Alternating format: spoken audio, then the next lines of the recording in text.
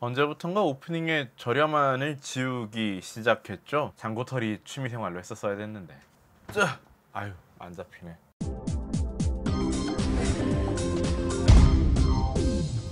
안녕하세요. 동쪽 메뚜기입니다. 오늘 함께 할 피규어는 스퀘어 에닉스사의 플레이 아츠카이 아캄 오리진 배트맨입니다. 아, 배트맨 아캄 오리진. 이 피규어에 대해 이야기하려면 2013년에 출시되었던 게임 아캄 오리진에 대한 이야기를 하지 않을 수 없겠군요. 그 게임은 아캄 시리즈의 본가 락스테디 스튜디오가 아닌 워너브라더스 게임즈 몬트리올에서 제작됐습니다. 본가 시리즈의 sequel이 아니라 배트맨의 초기 시절을 다룬 프리퀄 작품이었죠.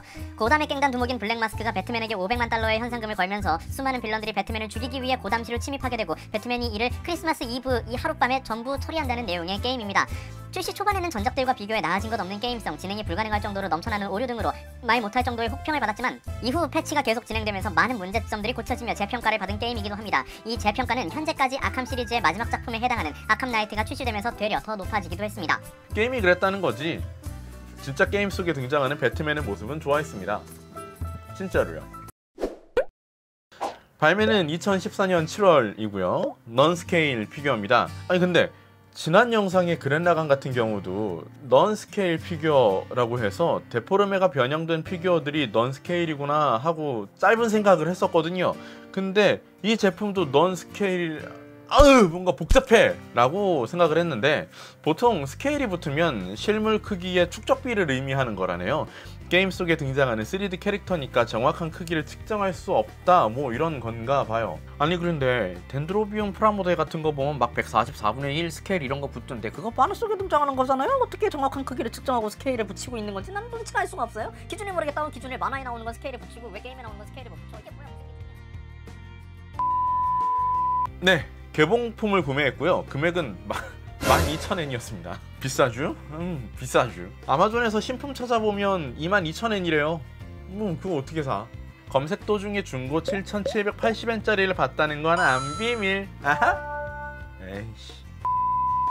암튼 자 케이스를 볼까 했는데 영상 몇번 찍다가 느낀 건데 뭐 케이스가 어떻게 생겼는지가 뭐 이렇게 중요하지 않잖아요. 그냥 바로 언박싱 가죠 뭐 깝시다 케이스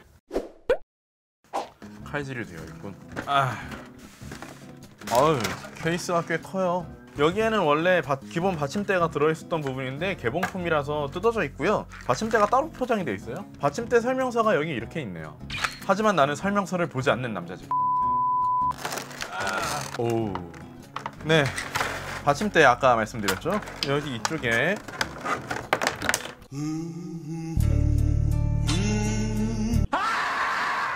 어딘가를 가리키고 있는 핸드파츠 하나 그래플러. 손이 약간 어정쩡하게 펼쳐진 그런 핸드파츠 하나 이렇게 세 개 추가 구성품이 있고요. 아 하나 또 있네. 우.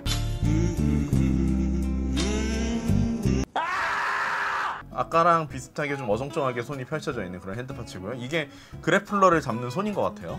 베테랑이 있습니다. 그 베테랑 아니에요. 그리고 배트맨. 자 플레이아츠 카이 아캄 오리진 배트맨입니다 배트맨의 얼굴 조형입니다. 되게 아저씨 같은 느낌. 아캄 오리진이 아캄 시리즈 세계관의 가장 서편인데 얼굴은 거의 뭐 아캄 나이트급의 늙고 초췌한 모습으로 구현이 되긴 했네요. 가슴갑주 아캄 오리진이 설정상으로 배트맨의 초기 활동 시절이기 때문에 총기류에 대한 두려움이 있을 때 얘기입니다. 아캄 어사일럼이랑 아캄 시티는 총기에 대한 두려움을 어느 정도 극복했다라는 설정으로 좀 스판덱스 같은 수트를 입고 있다면 오리진에서는 총기류에 대한 두려움을 이겨내지 못했기 때문에 갑옷 같은 느낌의 수트로 설정이 됐는데요. 보고 있으면 조명이 좀 세서 안 보일 수도 있는데 스크래치가 좀 있어요. 제가 중고를 사서 스크래치가 있는 게 아니라요. 텍스처가 고의적으로 스크래치가 나 있는 느낌입니다. 빌런들을 때려잡으면서 하는 그런 생활기스 그런 느낌의 디테일한 텍스처들이 들어가 표현들이 들어가 있어요. 중고라 그런지 진짜 이쪽 부분은 생활기스 같은 게 좀 있긴 한데 괜찮습니다. 뭐 괜찮아요. 저는 괜찮습니다. 괜찮다고요. 플레이아츠사의 장기이자 특기가 원래 이렇게 화려한 프로모션이죠. 되게 잘 나왔습니다. 만족. 괜찮아요. 저는 괜찮습니다. 괜찮다고요. 망토는 여러 부분의 레이어로 감싸져 있습니다. 좀 더 역동적인 표현을 위해서겠죠. 관절의 움직임은 굉장히 다양합니다. 일단 목이 이렇게 움직이고요. 제가 목 운동을 하는 각도보다 훨씬 더 많이 움직이는 것 같아요.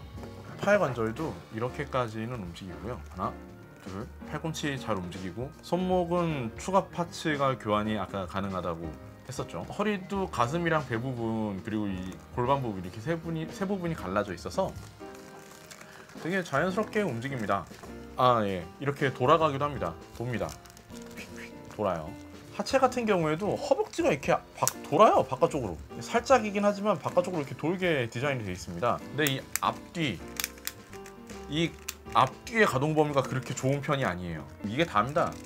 이렇게가 다예요. 뒤로는 되게 넓게까지 벌어지는데 뒤로는 되게 넓게까지 벌어지거든요. 근데 앞쪽으로 뻗는 거, 어? 아 이게 관절이 살짝 바깥으로 돌면서 큰 발차기를 하는 게 되네요. 이거 잘하면 히어로 랜딩도 가능할 것 같은데.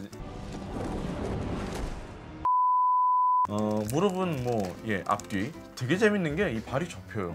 신기하더라고요. 아, 이 허벅지가 약간 바깥쪽으로 돈다는 게 생각보다 관절 가동률에 많은 영향을 미치는 것 같네요. 하지만 이 망토들 덕분에 허벅지의 관절 가동률이 되게 좋아도 그닥 크게 효용이 없을 것 같긴 해요. 아 물론 얘네도 조절은 가능합니다. 얘네도 관절처럼 연결이 되어 있기 때문에 이렇게 딱딱딱딱 거리면서 망토를 띄우는 것도 가능하고요. 어 진짜 액션 피규어를 완전 처음 만져보거든요. 되게 좀 약간 신선하네요. 새로운 세계네.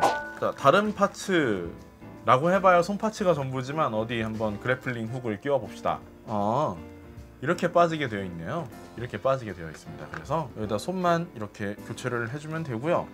여기다가 grappling hook을 쥐어주면 되는 것 같은데 어떻게 쥐어줘야 되니? 이 손이 아닌가? 쥐어줘. 죄송합니다. grappling hook이 이 손이 아닌 것 같고요. 자 다시 grappling hook을 끼워 봅시다. 여기 이렇게 손가락을 걸고 있는 parts를 끼워주고 네 이렇게 grappling hook을 꽂아주면 됩니다. 이렇게 grappling hook을 꽂고 있는 배트맨 짱의 모습이 완성이 됩니다. 컷. 오 이런 자세가 되네. 어, 신기하다.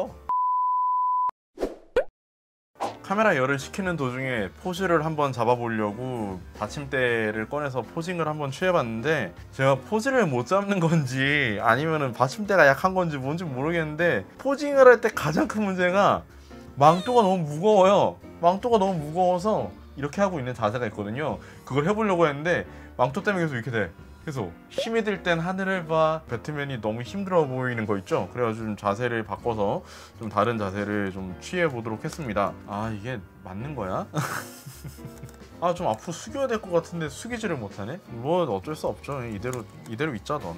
망토 무게가 너무 무겁네요. 아 이거 이거 좀 아쉽네요. 아 큰일 났다. 배트볼도 있는데 플레이 아츠 카이 시리즈가 좀 액션 피규어 치고는 좀 말이 많은 제품으로 알고 있어요. 도색 미스의 빈도가 잦고 프로모션 샷과 제품 도색의 차이가 있다던가 하는 등의 낮은 마감 퀄리티 그리고 피규어들마다 제각각인 스케일 같은 라인업인데도 어떤 것들은 12인치에 못 미치고 어떤 것들은 12인치가 되고 막 이런 왔다 갔다 한대요 스케일들이 약한 관절 강도 점점 점점 비싸지는 가격 확실히 말이 많을만 하죠. 하지만 딱 보면 보이지 않습니까? 좀 어정쩡하게 제가 posing을 취해서 그렇지 화려하게 나왔습니다. posing을 못 취한 건 제 탓이에요.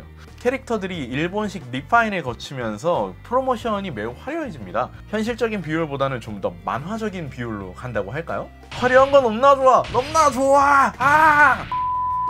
플레이아츠 시리즈도 유명세를 꽤 타서 짝퉁이 있다네요. 알리익스프레스에서 검색하면 24달러짜리가 막 검색이 돼요. 아 이거 사가지고 한번 짝퉁 비교 한번 해봐야 되나? 아, 이- 아 쓸데없는데 돈 쓰고 싶지 않은데 아, 아 유튜버로서 해. 아. 지금까지 플레이아츠 카이 아캄 오리진 배트맨이었습니다. 배트맨이 마음에 드셨다면 구독, 좋아요 부탁드리고요. 저는 다음 영상으로 찾아오도록 하겠습니다. 그럼 안녕히 안녕히